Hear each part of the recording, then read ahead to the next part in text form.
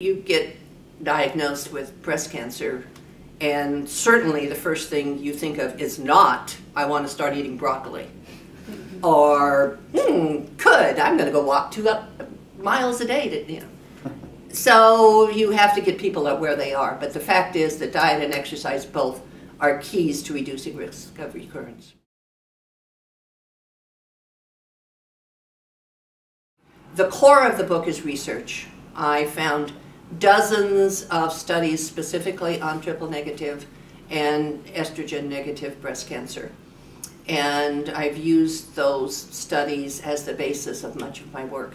I talk about how, what risk factors this disease has, what risk factors we know about. I talk about how to interpret your pathology report, the uh, different kinds of treatment options, and then I talk about a lot about diet and exercise and how to do both in a healthy way.